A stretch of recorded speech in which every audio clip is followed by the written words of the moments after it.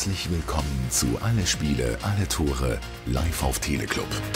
Heute mit den Partien GC gegen St. Gallen und Lugano gegen Thun.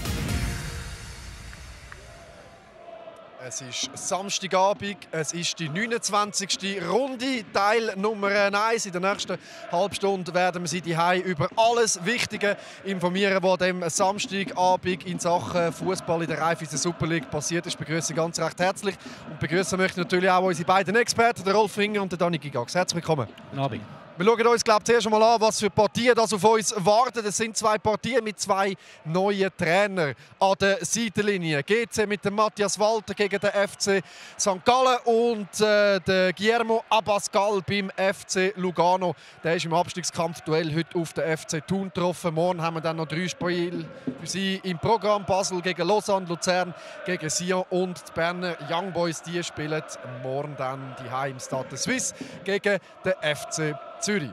So, das erste Spiel, das wir an dem heutigen Abend abhandeln wollen, ist der Match zwischen Lugano und dem FC Thun. Der Guillermo Abascal der ist seit dieser Woche der Chef der Seitenlinie. Und das, obwohl der Präsident Angelo Renzetti da noch der eine oder andere Name zuerst einmal angegangen ist, bevor er dann mit dem äh, Signore Abascal den Vertrag unterschrieben hat. Unsere Frau vor Ort ist Nathalie Barros. Und die Frage an dich, Nathalie. Inwiefern hat sich äh, die Verpflichtung von Guillermo Abascal heute für den FC Lugano schon ausgezahlt?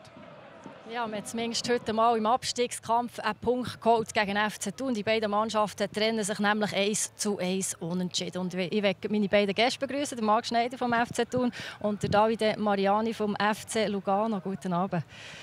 Marc Schneider, ich glaube, wenn ihr zurückschaut auf die letzten 90 Minuten, dann nimmt man den Punkt mehr als gerne mit. Ja, definitiv. Wir hatten einen denkbar schlechten Start. Gehabt.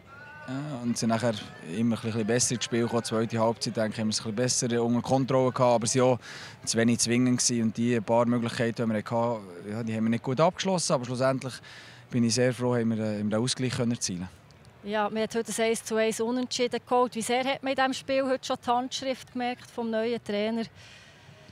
Ja, ich denke vor allem äh, bei den Standardsituationen, die haben wir äh, vorbereitet und äh, ja, haben auch eigentlich gut geklappt. Und äh, ja, sonst haben wir eigentlich das versucht umzusetzen. Ist klar, es braucht Zeit, aber wir müssen jetzt punkten. Ähm, nach sechs Niederlagen ja, müssen wir das Positive sehen und nehmen den Punkt mit. Ja, der FC Lugano hat einen Blitzstart verwünscht in das heutige Spiel. In der dritten Minute ist nämlich schon das 1 zu 0 gefallen. Genau nach so einem Standard von euch, Davide Mariani. Wunderschön gemacht hier. Äh, ja, eben, wie gesagt, wir haben das eingestudiert. Äh, tut mir leid, wir haben halt gesehen, dass äh, ja, das äh, eine Schwäche ist vom FC Thun. Und äh, ja, dort haben wir, in dieser Situation haben wir es gut ausgenutzt, haben noch einen Lattenkopfball gehabt. Ja, das wäre vielleicht äh, entscheidend gewesen. Du sagst jetzt die Schwäche vom FC Thun, die Scheiben Standards, Marc Schneider. Was macht man da falsch? Warum? Ja, e, erstens machen wir ein ganz dummes Foul. Eine Seitenlinie mit Rücken zu unserem Goal, der Stürmer, dürfen wir erstens mal nicht voll machen. Und zweitens, ja, der David hat richtig gesagt, es ist eine gewisse Schwäche, die wir, äh, ja, die wir versuchen abzustellen. Aber wenn wir einfach auf den Knopf drücken können, dann hätten wir es schon lange gemacht. Also man muss auch sagen, es war gut geschlagen. Sie sind alle dort, sie sind präsent und ja, wir haben es dort zu wenig gut verteidigt.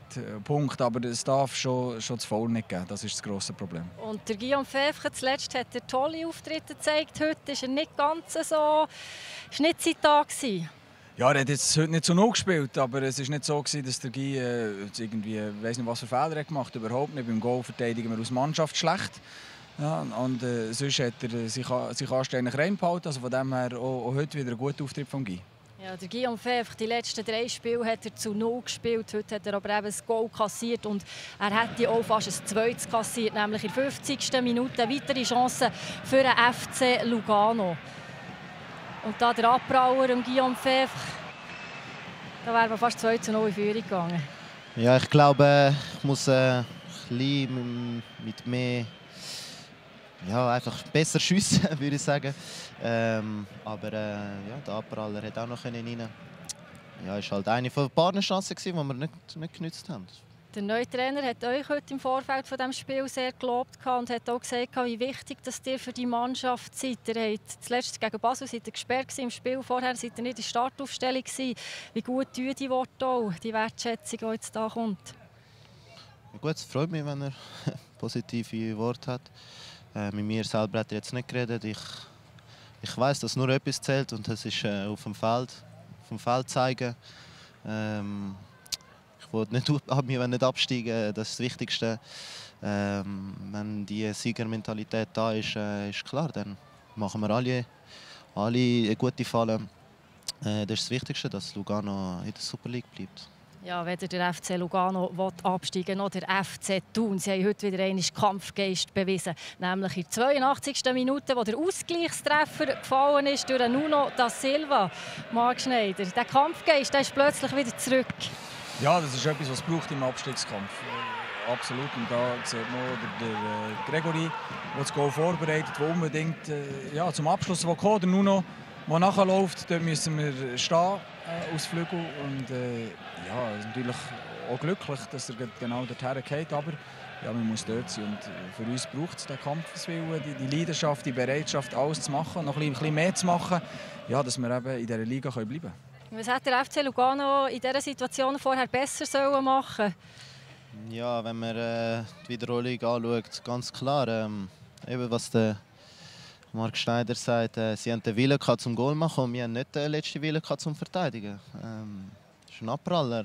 Wir müssen dort sein. Das sind eben die paar Meter, die man machen muss. Und sonst eben findet man sich in der Challenge League wieder. Das müssen wir wirklich müssen wir ansprechen und äh, unbedingt verbessern. Jeder Meter zählt. Sagt mir, es steht die englische Woche bevor, einbewartet auf euch, daheim in Stockholm Arena aus der Vergangenheit. Äh, es zaubert ein Lachen ins Gesicht. Kann man das noch mal wiederholen, was man da zuletzt gemacht hat, die letzten zwei Spiele in der Vorrunde? Ja, Derby ist natürlich immer etwas Spezielles, da freuen wir uns drauf und ähm, ja, hoffen wir. Ja, und, und werden alles dafür machen, dass wir äh, als Sieger vom Platz gehen. Wir wissen auch, dass es ein ja, eine delikate Aufgabe gibt. Und wir wissen auch um, um die Qualität von IB, aber schlussendlich ist es ein Derby und das spielen wir daheim vor, vor unserem Publikum. Und da werden wir alles in die Waagschale werfen, die wir haben und äh, auch dort wieder versuchen, aus Sieger vom Platz zu gehen. Die englische Woche mit einem neuen Trainer kommt ein bisschen zu einem dummen Zeitpunkt. Man hat nicht so viel Zeit, sich mit ihm einzuspielen. Tut das auch ein bisschen Training äh, anpassen? Nein, sowieso jetzt ist alles nur Mentalitätsfrage. Ähm freue mich mega auf die englische Woche. Also, hat ja heute angefangen. Ich freue mich mega. Ähm, macht eigentlich immer gut, wenn englische Woche ist. Äh, ja, ich freue mich. Ich freue mich auf das äh, große Spiel in Sion. Ähm, ja, ich hoffe, wir werden dort auch punkten. Merci vielmals, dass ihr da seid. Danke vielmals. Ja, der FC Thun und der FC Lugano die trennen sich heute Abend in diesem Abstiegskampf mit 1 zu 1 unentschieden. Es bleibt also weiterhin unglaublich spannend. Und ich bin ganz sicher, dass der Mann, der jetzt links von mir steht, ein 1 zu 1 Unentschieden am heutigen Abend genommen hat. Matthias Walter, danke vielmals, dass Sie trotz dieser bitteren Niederlage gegen den FC St. Gallen noch zu uns ins Studio kommen. Liege ich da richtig in der Annahme, dass es 1 zu 1 erstens mal verdient wäre und zweitens Sie mit dem Handkuss genommen hätten? Es kommt darauf an, wenn man das ganze Spiel gesehen hat, äh, wäre wahrscheinlich auch sogar ein 1 zu 1 zu wenig gewesen. Äh, aber am Schluss selbstverständlich äh, denkst du dann, okay, dann nimmst du wenigstens einen Punkt und äh, ja, jetzt hat es gar keinen gegeben. Wenn Sie das Spiel ein bisschen Revue passieren lassen, wir haben vor dem Spiel auch darüber geredet, wie schwierig das die Situation für die Spieler ist, eine gewisse Lockerheit anzubringen. Wie haben Sie die Entwicklung der Mannschaft in den 90 Minuten bezogen auf die Lockerheit? Ja, ich glaube, man hat genau das gesehen. Wir haben etwa 20, 25 Minuten gebraucht, bis sie, äh, bis sie die Stilsicherheit äh, auch im Ballbesitz gefunden haben. Und dann in der zweiten Hälfte ist dann, haben wir den Druck richtig können aufbauen Und ja, ich denke, halt bis zum Penalty müssten wir vielleicht halt schon das ein oder andere Goal gemacht haben. Und äh, dann müssen wir dreimal wechseln. Ich hoffe, Marco Basic, äh, wir befürchten das Schlimmste. Also sprich, da nicht, äh, dass wieder mit dem Kreuzband etwas könnte sein? Keine Ferndiagnosen, aber äh, das hat nicht gut ausgesehen. Nein, das hat definitiv. Da hoffen wir natürlich und wünschen an dieser Stelle alles Gute an Marco Basic, am Captain von der Grasshoppers und die Situationen, die der Matthias Walter gerade angesprochen hat, die Möglichkeiten, zum in Führung zu gehen, die hat GCK in der zweiten Halbzeit. Ich glaube, wir starten am besten mal mit dem Freistoß von Jeffrey aus der 50. Spielminute, Rolf. Ja, das war ein äh, Freistoß vor ja, 4, 25 Metern. Hat er super gemacht. Äh, Stojanovic hat gemeint, er ging über die Mauer, hat spekuliert. Und wenn wir in der Zeitlupe das sehen, merkt man, dass er riesen Glück hat, der Goalie, am Pfosten und auf ihn. Ich meine, das hat er super gespielt und Goalie hat spekuliert, den Ball nicht gesehen. Also da hat St. Gallen unheimlich viel Glück gehabt. Und aufgrund einfach von der, von der, äh, äh, äh von der Art und Weise, wie GC gespielt hat, hätte es da eigentlich schon 1 nur verdient gehabt. Das war die 50. Minute, die Chance nach dem Freistoß. Die zweite Situation, wo der Interimscheftrainer der Grasshoppers angesprochen hat, ist die 54. Minute. Und da war es eben nicht unbedingt das Glück, das im Weg gestanden ist, sondern einfach zu wenig gemacht aus dieser Situation. Ich sehe sie jetzt zum ersten Mal. Chef hat sich zu weit vorgelegt. Ja. Seht in der Mitte noch die Möglichkeit? Kodro ganz allein, da, also das ist mehr als eine 99% Torchance, das ist eine 100%ige. Und da hat er natürlich viel zu wenig daraus gemacht, der Jeffrey, und ist dann noch in den Goal hineingelaufen. Das ist dann auch noch gefährlich. Und man sieht da, während dem ganzen Sprint von dem schönen Steilpass von Basic hat er nicht einmal in die Mitte geschaut. Jetzt müsste er nämlich abgeben, müsste abgeben, müsste abgeben und hat nicht in die Mitte geschaut. Und wenn ein Spieler von seiner Qualität nach einem 30, 40 Meter Sprint oder während einem Sprint muss ich zwingend mal hineinschauen, weil der Kodro hätte sie noch können ins leere Goal schiessen Und wenn man natürlich dann aus diesen Chancen nichts macht, dann wird es im Fußball halt dann immer schwierig. Gleiche Meinung? Ja, also wenn ich ähm, die Situation jetzt noch am Fernsehen sehe, ist klar, ich könnte sogar den ersten Ball kann er einfach in die Mitte reinlegen und dann, und dann ist Goal. Und das, das ist richtig. Vom Chef, normalerweise würde man sagen, der, der, der spielt ja dort. Also der Dejan äh, Stojanovic, der Goalie vom FC St. Gallen, hat sich in dieser Situation noch verletzt. Dani Loppard hat dann äh, zum Einsatz äh, müssen kommen auf Seite vom FC St. Gallen. wir haben uns ein bisschen gefragt, wieso sie den Wechsel vorgenommen haben mit dem äh, Jeffren in dieser Situation vom Spiel. Ich meine, er hat dann nachher gerade äh, den 1-0 Treffer geschossen nach dem Penalty. Wir haben uns gefragt, was sind die Überlegungen dahinter gewesen? Äh, beim Jeffy müssen wir äh, immer schauen, dass wir einen, ähm, dass wir einen Fit haben, auch jetzt gerade für, für die englische Woche. Und er hat angezeigt, dass er, ähm, dass er raus möchte. Und äh, aus diesem Grund haben wir ihn dann auch, haben wir ihn auch gewechselt. Also, und dann schauen wir uns die Situation an, die zum Penalty geführt hat. 74. Spielminute ist es gewesen. Zuerst 72. Die Frage Penalty ja oder nein, Dani? Also für mich ist es ein ganz klarer Penalty, weil äh, klar, man sieht jetzt nicht der wahnsinnige liebli Reisser, aber äh, die Hand von Moaso King hat dort oben nichts verloren. Man sieht es jetzt gerade. Er hat einfach die Hand angelegt am Arm und äh, der Basic kann man jetzt in dieser Situation nicht sagen, hat, sich, äh, hat das gesucht gehabt, weil anscheinend hat er sich wirklich sehr, sehr fest Weg gemacht. Er vertrüllt sich nicht, sieht ganz, ganz böse aus. Man kann fast schon nicht anschauen, aber äh, ja, für mich ganz klar ein Penalty. Also der Schiedsrichter der Fedai San hat dann auch auf Penalty entschieden und es ist dann eben die 74. Spielminute gewesen, der Führungstreffer für die Grasroppers, Jeffrin. Da haben wir alle gesagt, das ist jetzt einfach die logische Konsequenz für den Aufwand, den die Mannschaft betrieben hat. Wird man ja belohnt, oder Rolf? Absolut. Sie haben äh, die zweite Halbzeit äh, ja, das Spiel total im Griff gehabt, sind aggressiv gewesen, haben drei, vier ganz gute Chancen rausgespielt. Sei es noch Penalty war das Minimum. Aber nachher muss man sagen, haben sie ein bisschen Schiss bekommen von der eigenen Courage. St. Gallen hat gleich natürlich dann ein bisschen mehr gemacht. Der geht sich nach hinten gedruckt. Aber das heisst natürlich nicht, dass man dann zwei Goal bekommen muss, wenn man so gut gespielt hat bis dahin. Also das erste von diesen zwei Gegengol, das schauen wir uns selbstverständlich auch noch an. 83. Spielminute. Musavo King war der Torschütze für Ostschweizer. Vielleicht äh, ja, ich meine, also, das ist nicht negativ gemeint, aber wenn du so einen Match anschaust und dann, dass die Ostschweizer zum 1-1 Ausgleich kommen, das ist äh, auch nicht böse gemeint, aber das ist, wenn überhaupt so eine Mannschaft zurück ins Spiel kommen dann ist es mit dem stehenden Ball. Und äh, ja, wenn man das ansprechen will, steht halt dort schon ein bisschen alleine. Klar, wenn er auf den, weit auf den zweiten Ball geht, dann ist äh, der erste Gedanke vom Offensivspieler, dass immer zwei Schritte raus machen, aber darfst halt die Spieler halt dann gleich nicht so ganz alleine lassen. Und äh, das wäre glaube der letzte Spieler gewesen, wo ich darauf gewettet hätte, dass der irgendwie ein 1-1 erzielt. Aber es passt eben zu dem verrückten Fußballabend.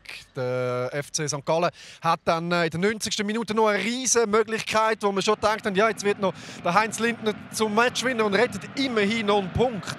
Wie haben Sie es gesehen? Ja, ist richtig. Das war dann auch die Phase, gewesen, wo man hat müssen sagen okay, jetzt musst du einfach einen Punkt mitnehmen. Das macht der super, der Heinz, genau. Und ähm, ja, das, man hat gemerkt, wir mit unseren drei Wechseln, wir haben den Buja auch noch müssen rausnehmen auf der, auf der Seite. Und dann ist wahrscheinlich einfach ein bisschen zu viel ähm, ja, auseinandergenommen worden. Und wir haben sicher spielerisch haben wir den Match im Griff gehabt und der Rolf hat es gut gesagt, es war auch nicht der Plan, gewesen, dass wir es noch hinter drücken. Wir haben eigentlich ganz klar vorne weitermachen, aber wahrscheinlich ein bisschen zu viel Wechsel und der Gegner eben dann auch noch ein bisschen System umgestellt und, äh, und halt dann auch mehr gemacht und mehr riskiert. Ist das etwas, was die Mannschaft vielleicht eben im Moment auch ein bisschen weniger gut vertreibt als noch in den Momenten, wo es gut gelaufen ist? Also es ist immer schwierig. Es ist ein, es ist ein einzelner Match. Ich, ich glaube, wir haben wirklich 75 Minuten lang einen sehr guten Match gemacht. Oder sagen wir so, wir haben jetzt drei gesteigert ins Spiel. Also der Mannschaft äh, ist vielleicht am Anfang anzumerken, dass noch ein bisschen Stillsicherheit fehlt. Aber die hat sie sich eigentlich selber erarbeitet, hat nachher ein Goal gemacht. Eben, muss, wir müssen uns vorwerfen, dass wir vielleicht nicht eben ein zweites oder ein drittes gemacht haben. Und dann kann halt so ein Match dann auch kippen. Genau, und dann sind es eben die Ostschweizer, die das zweite Goal geschossen haben an diesem Abend, 93. Spielminute. Der Nassim Ben Khalifa am Ende der goldige Torschütze. Schauen wir uns an, das Goal. Ja, ein blöder Ballverlust natürlich vom Verteidiger. Man hat den Ball fast auf sicher und man leitet sie am St. Galler Spieler die Pfanne fertig an. Und das tut natürlich doppelt weh, dass man quasi da noch so ein bisschen mitgeholfen hat. Das ist natürlich ein Ballverlust, der in dieser Minuten nicht mehr passieren. Und dann äh, schön in Ecke tüpft. Das ist typisch, dass man halt dann auch die tüpft. Also St. Gallen, ich will nicht sagen, dass es total unverdient war heute, aber aufgrund von dem, dass sie halt Dritte sind, dass sie Selbstvertrauen haben, äh, haben, sie, haben sie den nicht, am Schluss halt dann nicht unverdient gewonnen, wenn man zu solchen Torchancen kommt, wo man quasi beschenkt worden ist. Also das Geschenk von der Grasshoppers am Schluss. Wir werden natürlich auch noch den Torschütz, den äh, Nassim Ben Khalifa, zu Wort kommen lassen. Chris Augsburger. Nassim Ben Khalifa. 2 zu 1 gewonnen in einem wirklich verrückten Spiel. Wie können Sie sich die 96 Minuten erklären? Also, ja, verrücktes Spiel werde ich nicht so sagen. Ich würde sagen, das war ja, ein ganz normales Spiel. Nicht viel Torchancen von beiden Seiten, vor allem von uns. Und wie ich äh, vorher gesagt habe, wir haben heute die drei Punkte mitgenommen und das ist das Einzige, ich denke heute, was wir äh, nehmen können von diesem Spiel. Trotzdem, äh, St. Gallen konnte nach, der, ähm, nach dem 0 zu 1 reagieren. Wieso oder wie hat man auch den Schalter umlegen können? Ja, vor allem bei dem 1-0. Äh, wir haben alle daran geglaubt, dass wir das Spiel äh, gewinnen können, nicht nur unentschieden machen. Wir haben auch Peter Czernek und äh, Daniel Löpper und Cedric Gitten, die reingekommen sind, haben sie auch uns ein bisschen gepusht im Team. Wir haben einen taktischen Wechsel gemacht die letzten zehn Minuten und das hat uns viel mehr Power nach vorne gegeben. Merci beaucoup und einen schönen Abend. Danke vielmals. Also mit mehr Power am Schluss zum Sieg. Und Power ist schon ein gutes Stichwort. In den letzten zehn Spielen haben die Grasshoppers siebenmal in der Schlussviertelstunde ein Gegengol kassiert. Haben Sie eine Erklärung für diese Statistik? Die habe ich jetzt nicht gerade so präsent gehabt, aber es ist halt, äh, das ist in dem Fall eine Problematik. Wir sind sicher immer gut im Spiel.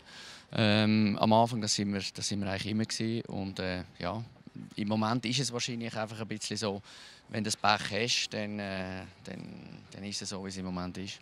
Jetzt ist es äh, nach all dem, was in der letzten Woche war und vor allem eben auch diese Woche mit der Entlassung von Murat Yakin, sie, die übernommen haben, das erste Spiel gewesen. Was sind Sie jetzt für ein Fazit? Was kann man mitnehmen aus dieser Partie für die kommenden Wochen?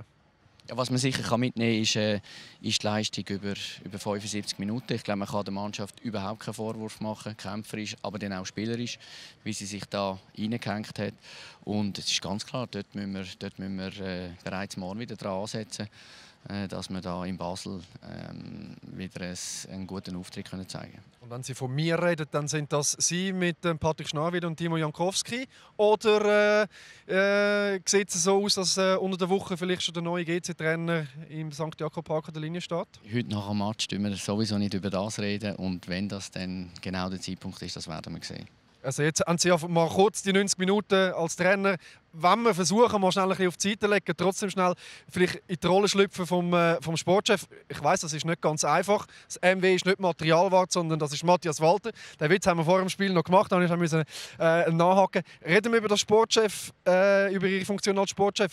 Wie definieren Sie das Anforderungsprofil von dem Mann, der die Grasshoppers im Abstiegskampf soll in der Liga halten soll? Ja, das wollen wir eben jetzt noch nicht heute diskutieren, sondern heute ist es um einen Match gegangen und das äh, machen wir dann in den kommenden Tagen. Also gut, dann gebe ich die Frage gerne mal weiter an unsere Experten. Rolf, was hat der zukünftige Trainer der Grasshoppers heute für eine Mannschaft gesehen und was für Gedanken macht er sich, wenn er an die Zukunft denkt? Hat die Mannschaft gesehen, wie Matthias gesagt hat, sehr willig. Sie hat gefeitet, sie hat alles gegeben. Man merkt, dass sie sich wollen, äh, aus dem Schlamassel fighten, wenn man so will. Und äh, meine, der Trainer, äh, der Idealtrainer ist der, der dann die ersten paar Matches gewinnt und dass man dann oben bleibt. Also, dann äh, sind wir gespannt äh, auf die nächsten Auftritte. Danke vielmals Matthias Walter, dass Sie noch schnell bei uns im Studio waren, trotz dieser bitteren Niederlage. Natürlich viel Glück für die kommenden Wochen. Herzlichen Dank Danke auch. für den Besuch hier bei uns im Studio, der Interimscoach von den Grasshoppers. Wir werden jetzt an dieser Stelle natürlich noch Buchhaltung machen, schauen uns das Resultat von heute und natürlich die Tabellensituation nochmal an. GC gegen St. Gallen also 1 zu 2. Lugano und der FC Thun, die trennen sich 1 zu 1 unentschieden. Morgen dann also noch Match Basel gegen Lausanne, Luzern gegen Sion und Berner Young Boys treffen die Hai auf den FC Zürich. Da werfen wir den Blick natürlich noch auf die Tabellensituation. Also drei ganz wichtige Punkte für die Ostschweizer, für den FC St. Gallen in dem Kampf um Platz 3. Da müssen die Luzerner morgen im Heimspiel gegen Sion nachziehen. Ebenso, wenn es möglich ist, für Zürcher auswärts in Bern. Spannend ist vor allem aber dann, wenn wir runterschauen, GC Platz 6, 32, Thun 32, Lugano 32, Lausanne 31 und der FC Sion mit 28. Da ist es also gut möglich, falls die Walliser morgen in Luzern äh, reüssieren, dass es zum definitiven, super totalen Mega-Zusammenschluss im Abstiegskampf kommt. Ja, das sieht so aus und das verspricht spannende, spannende Wochen jetzt am Schluss. Und äh, ja, eben, wie ich das auch schon gesagt habe, es hat die, die eine oder andere Mannschaft, wo man am Anfang vielleicht nicht gedacht hat, dass sie dort unten zu finden ist. Und darum wird es also Sion für dich, oder was? Ja, ich finde sowieso, Sion hat in der Mannschaft eine enorme Qualitäten, aber die haben auch längere Zeit ein Probleme gehabt und ich denke schon, dass die den Schritt dort unten raus werden machen und äh, dann wird es einen super Zusammenschluss geben, wie du das gesagt hast und das wird extrem spannend. Ja, wir, ja, wir haben, äh, ich will zu St. Gallen etwas sagen, auf dem dritten Platz. Sie haben jetzt 45, 29 Spiele, 45 Punkte und ein Torverhältnis von minus 7. Ah, das gibt es eigentlich nie bei einem Drittplatzierten. Das ist äh, phänomenal. Ich meine, die, die Meisterschaft zeigt sowieso, Basel hat ein Plus-Torverhältnis und IB und dann glaube ich noch Luzern null und alle anderen haben das Minus-Torverhältnis. Also ganz eigenartig, das gibt es äh, nicht jedes Jahr. Also, und jedes Jahr gibt es aber das, was ich jetzt ankündige, nämlich ein Spiel zwischen Milan und Napoli. Serie A natürlich ein grosses Thema bei uns auf Teleclub. Und diesen Termin den müssen Sie sich ganz dick im Kalender eintragen. Der Kampf um den begehrten Scudetto ist noch immer in vollem Gange. Der SSC Neapel möchte die Serie von Erzrivale Juventus Turin endlich durchbrechen holen die Süditaliener auswärts beim AC Mailand die wichtigen drei Punkte. AC Mailand gegen SSC Neapel. Morgen live und exklusiv auf Teleclub Sport. Also Serie A natürlich ein grosses Thema bei uns auf Teleclub. Auch in den kommenden Jahren wird das bei uns der Fall sein. Und apropos kommendes Jahr, bleiben wir mal in der Einzahl. Champions League und Europa League. Das wird natürlich riesengroß geschrieben bei uns auf Teleclub. Wir sind Königsklasse. Natürlich sehen Sie alle Spiele aus der Europa League, alle Spiele aus der Champions League bei uns auf Teleclub exklusiv. Da freuen wir uns natürlich sehr drauf. Wir sind Königsklasse. Ihr seid extra klasse am heutigen Abend. Danke vielmals, Rolf Ringer, danke vielmals, Dani Gigax, für die Analyse genau. am heutigen Abend. Morgen geht es dann weiter mit der Raiffeisen Super League, zweiter Teil von der 29. Runde. Der Mevion Heim begrüßt Sie dann morgen zusammen mit dem Pascal Zubenbühler. Da wartet auch allerdings sehr, sehr spannende Spiel auf Sie. Also morgen Nachmittag nicht vornehmen, sondern Teleclub schauen. Ich wünsche Ihnen jetzt noch eine gute Nacht. Bis morgen. Ade miteinander.